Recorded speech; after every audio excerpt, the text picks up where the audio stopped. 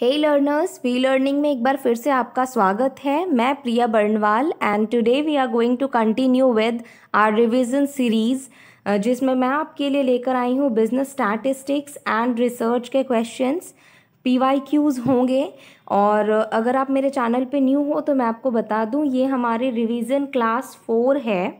तो इससे पहले मैंने और भी तीन रिवीजन क्लासेस करवा रखी हैं। अगर आपने वो नहीं देखी तो प्लीज़ प्लेलिस्ट में जा कर के उन क्लासेस को भी ज़रूर देखो। और और भी कई सारी, कई यूनिट्स करवाई हैं मैंने। लाइक बिज़नेस फाइनेंस कंप्लीट करवा दिया है। इंटरनेशनल बिज़नेस भी कंप्लीट करवाया है आपको यूट्यूब के इसी चैनल पे। तो आप उन क्लासेस को भी ज़रूर देखो। And yes business statistics and research के पी में ना सिर्फ़ हम क्वेश्चंस देखेंगे, बल्कि हम कई सारे टॉपिक्स डिटेल में भी कवर करेंगे। तो प्लीज़ क्लास में एंड तक बने रहना। So now let's continue let's move forward to the next question so the first question is here A test that contains a fair sample of the tasks and skills actually needed for the job in question is एक test जिसमें fair sample ली जाती है content की एक task और skills की जो हमारे जॉब में जॉब मीन्स रिसर्च रिसर्च में ज़रूरी है। इट मीन्स रिसर्च के लिए जो हमने टेस्ट में कंटेंट लिया है वो फेयर है वो वही है जो हमें लेना था। ओके okay, तो ये कौन सी वैलिडिटी को मेज़र करता है?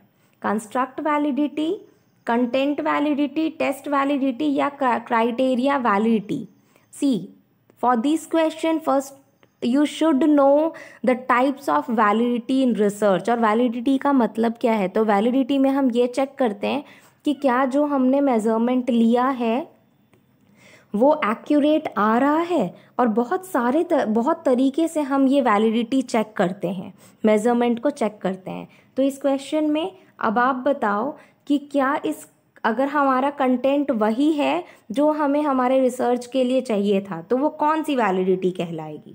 Construct validity content validity test test validity या criteria validity please pause the video and try to answer by yourself so the correct answer for this particular question will be content validity okay अब कैसे ये content validity हुआ? तो क्योंकि मैंने आपको starting में कहा है, मैं सारे एक एक टॉपिक्स क्लियर करूँगी तो वैलिडिटी का टॉपिक अभी हम क्लियर करने वाले हैं।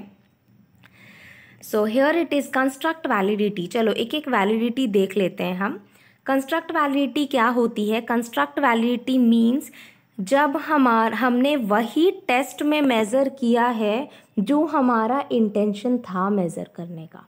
हमारा इंटेंशन जो मेज़र करने का था रिसर्च में, अगर कंटेंट वही है, वही मेज़र कर रहे हो तो वो कहलाता है कंस्ट्रक्ट वैलिडिटी इसमें हम हमारे इंटेंशन के अकॉर्डिंग चेक करते हैं।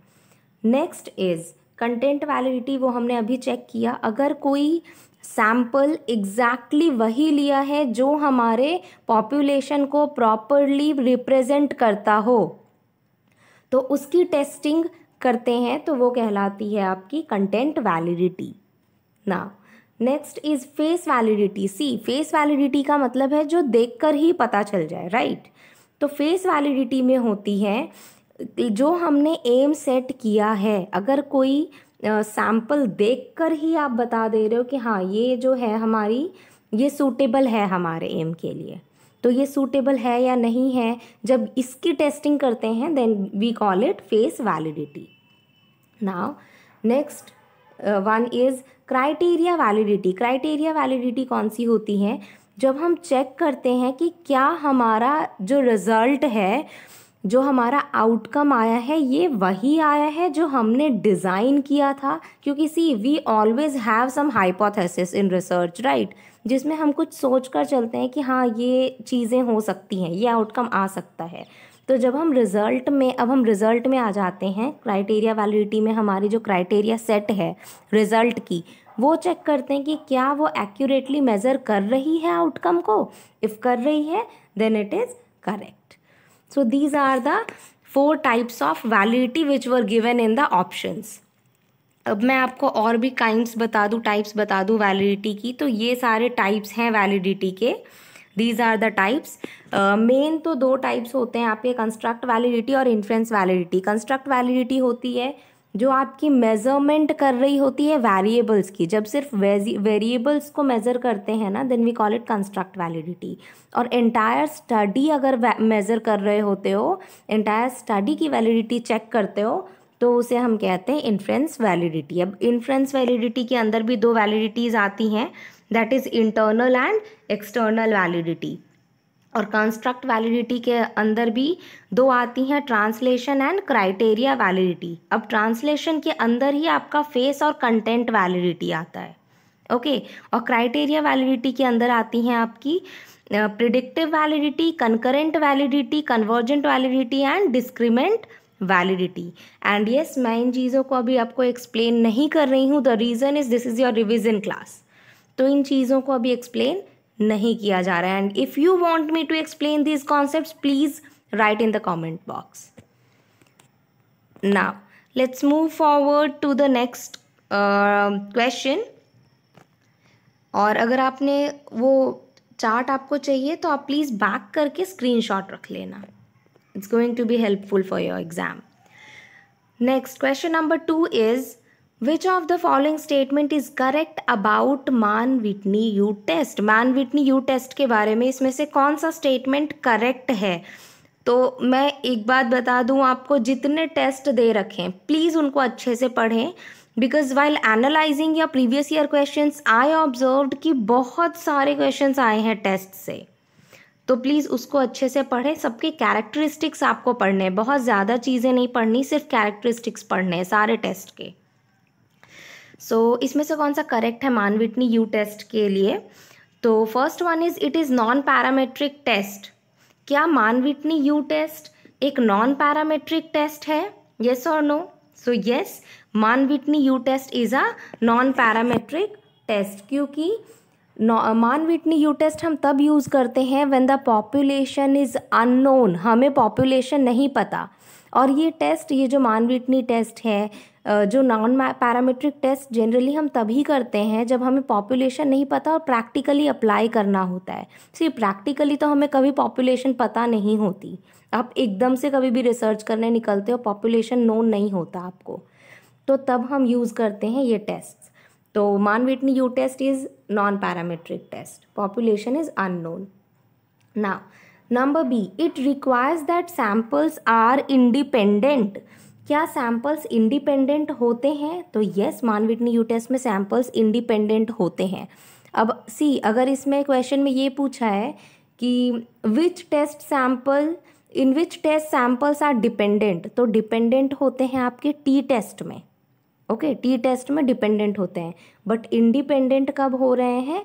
Mann Whitney U test Mann Whitney U test क्योंकि ये नॉन पैरामेट्रिक टेस्ट है तो इसमें सैम्पल्स एक दूसरे पे डिपेंडेंट नहीं होंगे, ये इंडिपेंडेंट होंगे। Now number B is clear तो नंबर बी भी करेक्ट बोल रहा है। Number C it can be use when population involve are normally distributed इसे हम यूज़ करते हैं जब पॉपुलेशंस नॉर्मली डिस्ट्रीब्यूटेड होते हैं तो नहीं। जब पॉपुलेशंस नॉर्मली डिस्ट्रीब्यूटेड होते हैं तो कभी हम मानविटनी यू टेस्ट नहीं यूज़ करते। Mann Whitney U test is always used you always use in case of skewed test skewed distribution, जब हमारा स्क्यूड होता है ना, स्क्यूड होता है तो हम यूज़ करते हैं मान विटनी यू टेस्ट। तो this option is absolutely wrong number C is wrong normally distributed नहीं होता। Number D it is use to test the null hypothesis that the two populations involve are identical ये use कर, ये जो test है, इसमें नल hypothesis में हम ये लेकर चलते हैं कि जो दो पॉपुलेशन है, वो आइडेंटिकल है मतलब वो नोन है। तो yes absolutely correct null hypothesis हम रिजेक्ट करते हैं right it is the hypothesis that we want to reject तो हम यही मानकर चलेंगे कि ये जो पॉपुलेशंस है, वो आइडेंटिकल है, हमें नोन है। क्योंकि अभी मैंने आपको जस्ट बताया, ये पैरामेट्रिक नॉन पैरामेट्रिक होते हैं मीन्स पॉपुलेशन अननोन होता है। तो हमें अननोन होता है पॉपुलेशन ये प्रूव करना है, ये एक्सेप्ट करना है, इसके लिए क्या करना पड़ेगा? नल हाइपोथेसिस में ये रिजेक्ट करना पड़ेगा कि दो, जो तो टू पॉपुलेशन है हमारे पास, वो इक्वल होते हैं या आइडेंटिकल होते हैं। Okay now so option D is absolutely correct that the two populations are involve are identical null hypothesis में यही मानकर चलते हैं। Number E it is always to a two tailed test no ये टू टेल्ड टेस्ट नहीं होता। ये one tailed test होता है क्योंकि इसमें डेटा हमारा जो होता है वो स्क्यूड होता है। Okay so it is always a one tailed test तो ये सारी चीज़ें हैं तो A B and D A B and D only okay yes so number one will be the correct answer for this particular question I hope this is clear now, let's move forward to the next question. Okay, before this, i want to discuss this part. See वो सारी चीज़ें मैंने यहाँ लिख रखी हैं। It's just you have to और वो सारा मैंने डिफाइन कर दिया है। ये बस आपको माइंड में रखना है दैट मान विटनी टेस्ट को we also call Wilcoxon rank sum test so please don't get confuse whenever it is asked in the question Wilcoxon rank sum test भी मान विटनी टेस्ट ही होती है। Okay and yes it is alternative to T test for independent samples ये alternative है, Mann Whitney U test जो है वो आपका ऑल्टरनेटिव है किसका? टी टेस्ट का। अब देखो, ये मैंने एक चार्ट प्रिपेयर किया है आपके लिए this one parametric and non parametric test तो इस तरफ़ मैंने सारे पैरामेट्रिक टेस्ट लिखे हैं और इस तरफ़ आपके नॉन पैरामेट्रिक टेस्ट दे दे रखे हैं ओके तो ये आपको कंसीडर करके चलना है। इंडिपेंडेंट सैंपल टी टेस्ट की जगह पे मानविटनी टेस्ट यूज़ होता है। पेयर्ड सैंपल टी टेस्ट की जगह पे विलकॉक्सन साइंड रैंक टेस्ट होता है। वन वे अनोवा की जगह क्रुस्कल वॉलिस टेस्ट होता है। One way repeated measures ANOVA की जगह पे फ्राइडमेंस अनोवा टेस्ट होता है। और ये सारे पैरामेट्रिक और नॉन पैरामेट्रिक टेस्ट के एग्जाम्पल्स हैं okay Now let's move forward to the third question So third question is a numerical based question. Let's solve it. Um, so the question is for a very large sample size, the ratio between standard error of population and standard deviation is 8 is to 40. ये देखो standard error of population और ये standard deviation दे रखा है तो एक large sample size अगर मैंने लिया है तो इनका रेशियो दे रखा है एट इज़ टू फोर्टी अब आपने डिटरमाइन करना है सैंपल साइज़ किसका? एन का. तो देखो, ये फॉर्मूला आपने ज़रूर पढ़ा होगा that standard error standard error of population standard error of population is equal to the standard deviation of population divided by the square root of the sample size ये फॉर्मूला ज़रूर पढ़ा होगा तो अगर ये फॉर्मूला पढ़ा है तो you you can easily solve this question क्योंकि आपको बस इसकी वैल्यू पुट करनी है स्टैंडर्ड एरर की एंड देन इसकी वैल्यू फिर रूट एन तो आपका वैसे ही निकल जाना है। So here is the solution C because eight is to forty दे रखा है तो स्टैंडर्ड एरर आपका एट है और स्टैंडर्ड डेविएशन आपकी फोर्टी दे रखी है। ठीक है? तो चलो सॉल्व करते हैं। So standard error is equal to ये फॉर्मूला पुट करोगे आप। अब देखो standard error is equal to standard deviation by root N अब जब ये दे रखा है, आपको स्टैंडर्ड एरर पता है तो आप क्या करोगे? रूट एन क्योंकि जब आपको फाइंड आउट करना है तो आप क्या करोगे? आपकी standard deviation divided by standard error आ जाएगा। Standard deviation divided by standard error अब स्टैंडर्ड डेविएशन आपके पास दे रखा है फोर्टी स्टैंडर्ड एरर है आपके पास eight so forty divided by eight will give you five तो रूट एन की वैल्यू आ गई फाइव अब जब मैं रूट हटाती हूँ रूट रिमूव करती हूँ तो वो स्क्वायर हो जाएगा। सो फाइव स्क्वायर फाइव फाइव ज़ा twenty five that is given here. Therefore, for a very large population, the ratio between standard error of population standard deviation is this and the sample size N will be twenty five तो sample size क्या लिया है twenty five लिया है I hope this concept is clear let's move forward to the next question so here is your question number 4 question number 4 is which of the following are correct about chi square test इसमें से कौन सा का square test के लिए सही दे रखा है? करेक्ट दे रखा है। So the first one is the only parameter is its degree of freedom please pause the video and try to answer by yourself और अगर कन्फ्यूज़न हो तो आप मेरी डिस्कशन सुनो। So the first option is the only parameter is its degree of freedom क्या इसकी सिर्फ़ एक पैरामीटर ये, इसमें से एक पैरामीटर ये भी है degree of freedom degree of freedom अगर आप चेक कर लेते हो तो क्या आपको क्या स्क्वायर टेस्ट मिल जाता है? आंसर मिल जाएँगे. So yes the answer will be correct C degrees of freedom क्या होती है आपकी? It is the maximum number of independent values that have freedom to vary in data. Right right, जिसके ज़्यादा इंडिपेंडेंट वैल्यूज़ के पास freedom होता है कि वो डेटा में चेंजेस हो कर सकते हैं। ओके okay, तो ये अगर आप चेक कर पा रहे हो तो वो होता है आप तो आपकी कार स्क्वायर की टेस्टिंग हो रही है। So the only parameter is its degree of freedom so yes option A is correct here okay Now number B is the null hypothesis is rejected when actual value of variable exceeds its critical value, बिल्कुल सही दे रखा है जब आपकी ये exceed कर जाती है, सी, ये आप सपोज़ नल हाइपोथेसिस आपकी रिजेक्ट कर दी आपने तो ये कब रिजेक्ट होगी व्हेन एक्चुअल वैल्यू जो है आपकी वेरिएबल की, वो एक्सीड हो गई ओके okay? तो when the null hypothesis is rejected हम तब उसको रिजेक्ट करते हैं, जब एक्चुअल वैल्यू जो है वो एक्सीड हो जाती है क्रिटिकल वैल्यू को। तो बिल्कुल सही दे रखा है।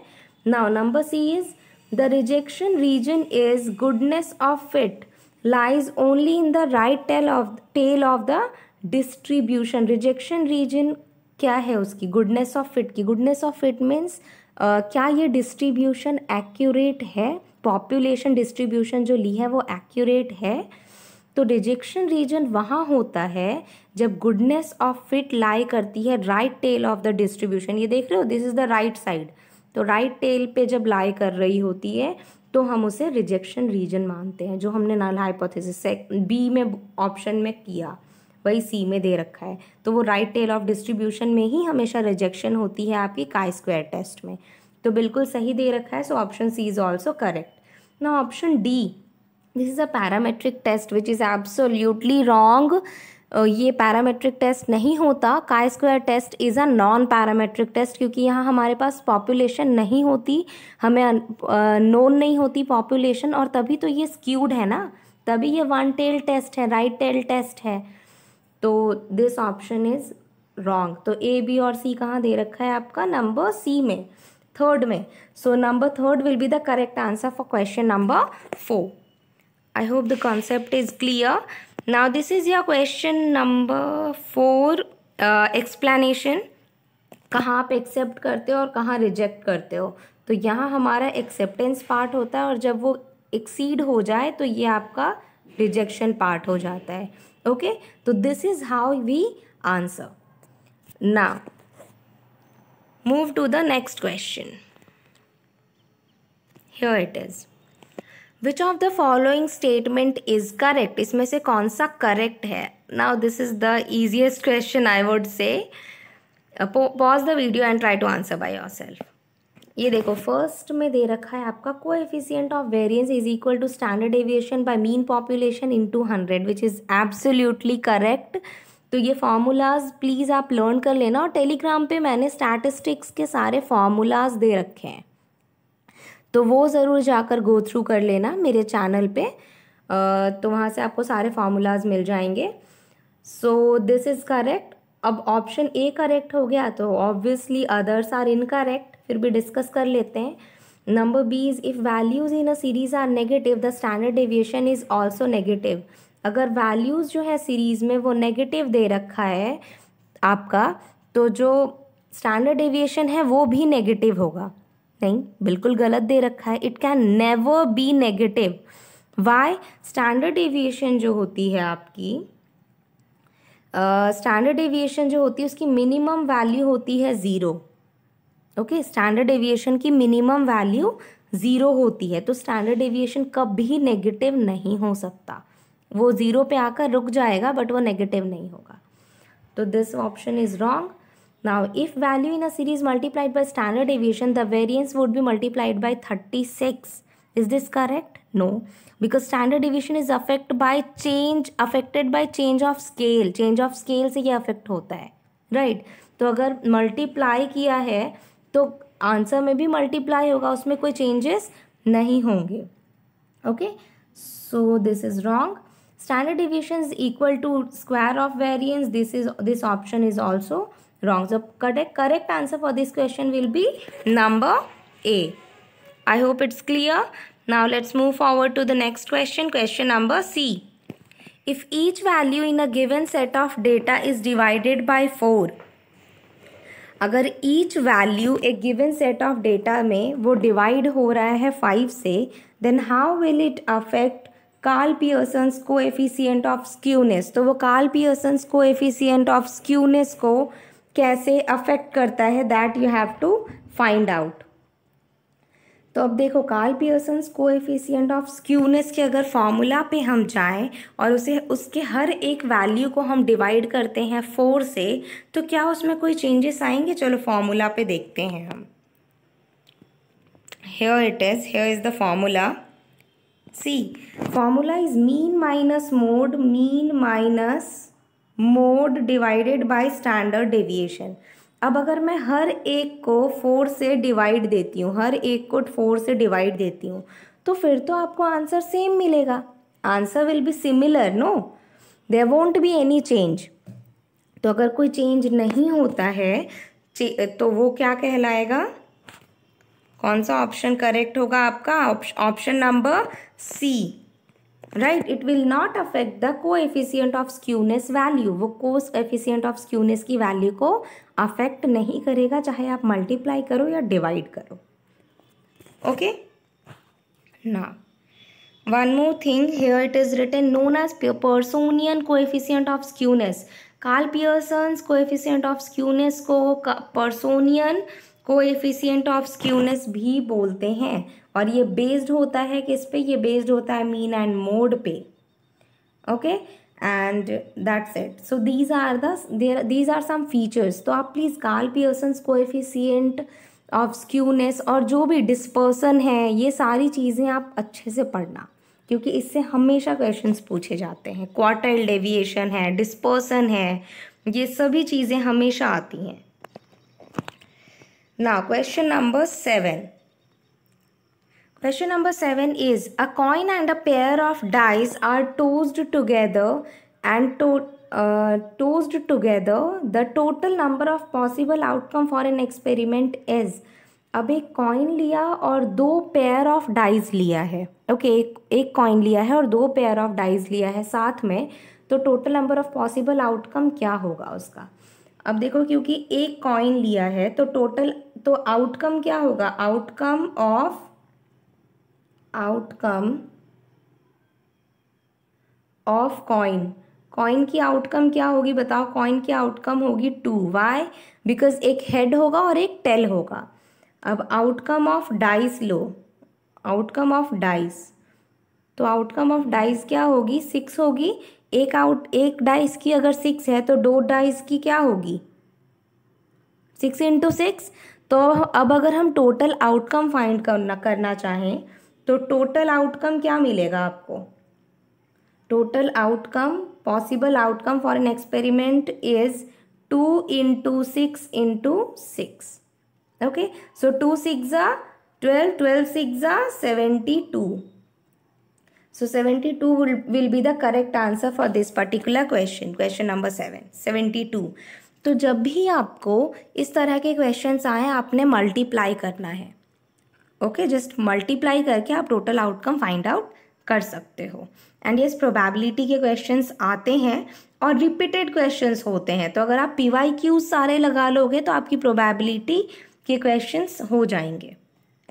ओके ना let's move to the next question question number eight अब ये आपका रिसर्च से है, जो हर बार पूछते हैं ये। पता नहीं क्यों इतना रिपीट करते हैं ये question but okay it's beneficial for us right So question number 8 is arrange the following steps of formulating research proposal in a logical sequential order. Research proposal जब हम लेकर जाते हैं तो उसके लिए जब हम फॉर्मूला फॉर्मुलेट करते हैं तो उसके लिए कौन से स्टेप्स होते हैं कौन से स्टेप्स में करते हैं so these are the steps given here just arrange it you just need to arrange the steps तो सबसे पहले क्या करते हो? सबसे पहले होता है आपका डिफाइनिंग रिसर्च प्रॉब्लम अरे, पहले ये तो पता चले कि हमारी रिसर्च प्रॉब्लम क्या है?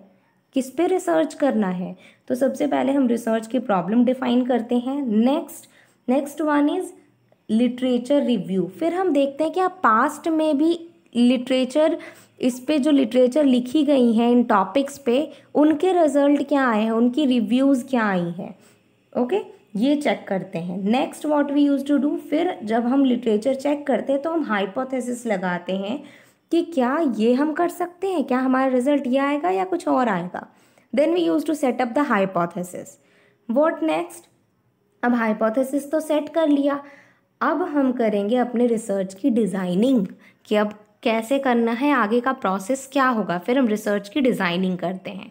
And what next next we use to collect the data, फिर हम डेटा को कलेक्ट करते हैं। तो this is the process so correct answer will be number four A C then B then E and then D last one will be D तो ये आपका process होता है रिसर्च प्रपोजल का। I hope the answer is clear and here is your flow chart okay here is the flow chart पहले हम problem की identification करते हैं देन रिव्यू करते हैं लिटरेचर देन सेट करते हैं questions and hypothesis then research design करते हैं देन सैंपल डिज़ाइन करते हैं डिसाइड करते हैं. Then you we use to collect the data after that हम प्रोसेस करते हैं और एनालाइज करते हैं डेटा को. फिर हम रिपोर्ट लिखते हैं. At the end we use to write the report so this is the process Now, let's move to question number 9. So, here is your question number 9. Binomial distribution so मैं ये बता दूँ आपको binomial distribution and Poisson distribution से बहुत questions आए हैं इन years uh, में तो ये आप अच्छे से देख लेना so for binomial distribution with n is equal to thirty q is equal to zero point seven the mean and variance is equal to binomial distribution में अगर एन दे रखा है थर्टी क्यू दे रखा है ज़ीरो पॉइंट सेवन तो mean और उसकी वेरिएंस क्या होगी? वो आपको फाइंड आउट करना है। तो देखो, जब हमें मीन फाइंड आउट करनी है ना, जब आपको मीन फाइंड आउट करनी है then the formula is n p अब एन तो आपको पता है एन है थर्टी पी तो नहीं पता। पी क्या है? अब देखो, जब क्यू दे रखा है ज़ीरो पॉइंट सेवन एंड हमें ये पता है that q p sorry p q p q की वैल्यू क्या होती है? वन होती है। तो अगर पी क्यू की वैल्यू वन होती है क्यू की वैल्यू ज़ीरो पॉइंट सेवन है तो पी की वैल्यू क्या होगी? One minus zero point seven that is zero point three then thirty will be D multiplied with zero point three तो मल्टीप्लाई किया तो हमें आंसर क्या मिला? हमें आंसर मिल रहा है nine okay answer will be nine next mean आ गया. मीन फाइंड आउट कर लिया. अब हमें फाइंड आउट करना है वेरिएंस वेरिएंस का फॉर्मूला क्या है? वेरी इजी वेरिएंस का फॉर्मूला है आपका एन पी क्यू अब एन है आपकी थर्टी पी है आपकी ज़ीरो पॉइंट थ्री और क्यू है आपकी ज़ीरो पॉइंट सेवन तो जब आप इनको मल्टीप्लाई करोगे then you will get the answer six point three.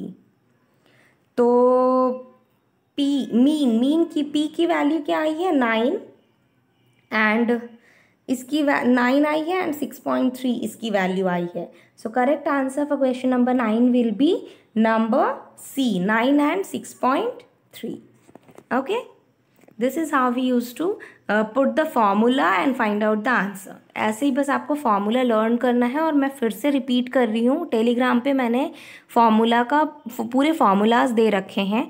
तो प्लीज़ उसको ज़रूर ज़रूर फॉलो करना।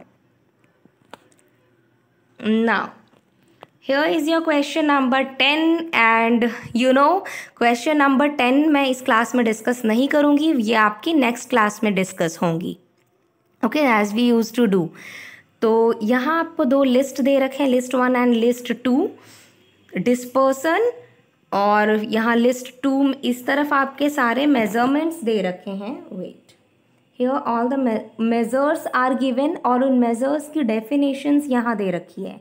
तो ये आपको मैच करना है. Please just pause the video match it and write the answer in the comment section ये आपको कमेंट सेक्शन में आंसर करना है और इसकी आंसर मैं डिस्कस करती हूँ नेक्स्ट क्लास में. जैसे आज मैं लेकर आई हूँ आपके प्रीवियस बैंकिंग के क्वेश्चन जो क्वेश्चन नंबर टेन था आपका, वो अभी हम डिस्कस करने वाले हैं. तो इसका स्क्रीनशॉट ले लो या पॉज करके आंसर कर दो कमेंट सेक्शन में.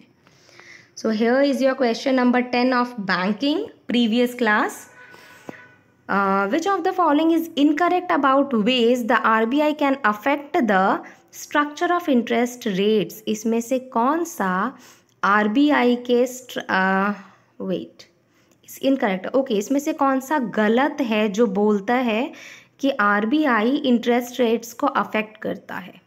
Okay R B I interest rate को अफेक्ट करती है, इसमें से कौन सा स्टेटमेंट गलत दे रखा है? तो D and E will be the correct answer okay fixing the maximum interest on time deposits with the bank क्या R B I bank time deposit जब होती है बैंक में तो वो मैक्सिमम इंटरेस्ट रेट फिक्स करती है? नहीं, भाई, आरबीआई को हम पब्लिक से क्या दुश्मनी? कि वो मैक्सिमम इंटरेस्ट फिक्स करे राइट ये आरबीआई का काम नहीं होता। Number E ineffective tapping and mobilization of savings क्या आरबीआई हमारे पैसे को रखकर इनफेक्टिव तरीके से काम करती है? हमारे सेविंग्स को गलत जगह पे यूज़ करती है? तो नहीं, ये भी बिल्कुल नहीं होता।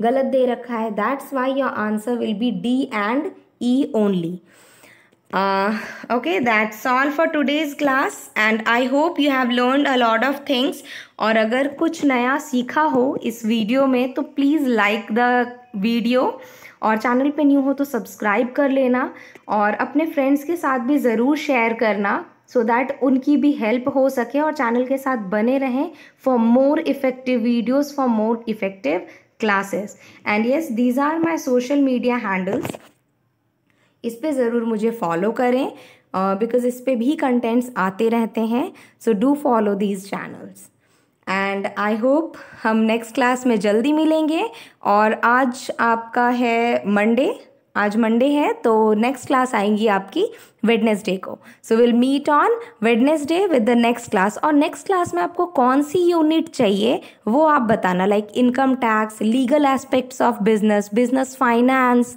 ये कुछ थोड़े इंटरेस्टिंग और डिफ़िकल्ट से होते हैं तो आप प्लीज़ कमेंट बॉक्स में बताना आपको नेक्स्ट वीडियो कौन से यूनिट पे चाहिए। So I am signing off the video bye thank you so much